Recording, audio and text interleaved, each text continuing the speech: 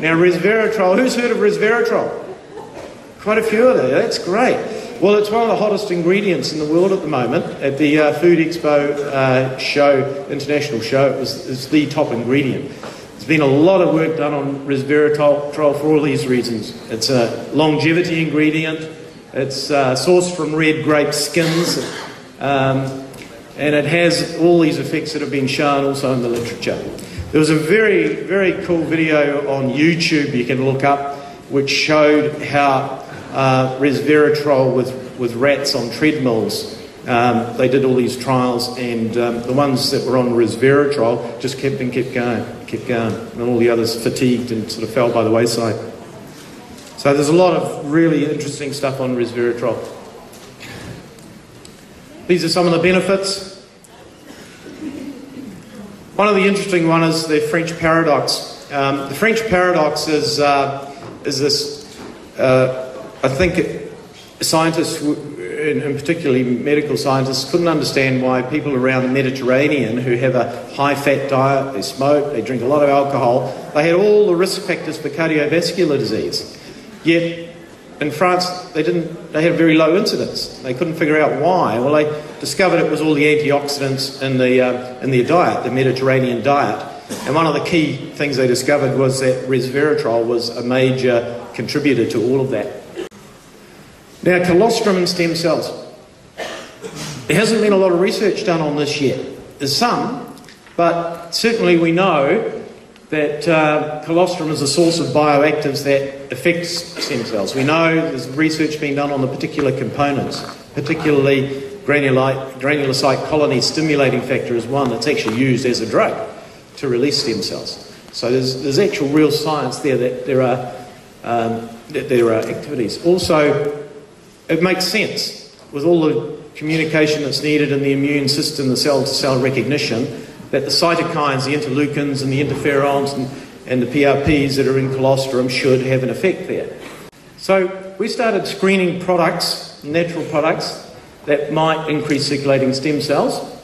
And we had volunteers that took various supplements and we analysed their blood. And this is, um, this is the machine that's done on. It's called a flow cytometer. This is me looking happy. I'm always happy in the lab. And um, this is done at a, a, um, a research centre that's uh, a very well respected research centre doing clinical trials for uh, FDA approvals. Um, so there's some very good scientists behind us. I'm just there for the Photoshop, actually, to be this is some of the results that you get out of it. There's a lot of data comes out of a, a test, and uh, you get these sort of printouts on the computer, and um, I don't know if you can read it, but you know, a little patch like this, this is, uh, uh, these are counts of individual cells. So that machine, the flow cytometer, actually counts the cells and, and tags them. You, you tag them and, and, identify them, and then you can tell which are which. So it not only measures uh, stem cells, but it'll measure monocytes, B cells, T cells, all the various cells in the immune system. And these are some of the results we got. And um, we had about 270 data sets when you add up all the various um, ingredients we tried and, and, the people and the samples and the blood uh, types that were analysed. And the interesting thing is, of all of the various concoctions we put together and tried, the ones that had colostrum in them were colostrum based, um, gave a higher result than those without. So we're talking here about 22% um, increase in circulating stem cells. We, this was the average best time. We did different times as well, and we're still working on this. To be to be fair, there's a lot of work to do, but this is a really good indicator for us that uh, something's happening. And uh, here's some more results. These are other cells. So you can see here the uh, monocytes up 10%, granulocytes up 15%, B cells up 20%, CD4 cells up nearly 5% and the stem cells um, just over 20%. So this was really exciting, and, and, and we're continuing to work on this. So we put all this together, and um, we've now come up with this product we're launching for you today called Colostem.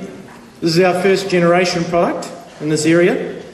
Um, it contains not only colostrum, 400 milligrams, but it's also got fucoidan, 40 milligrams, and resveratrol, 25 milligrams.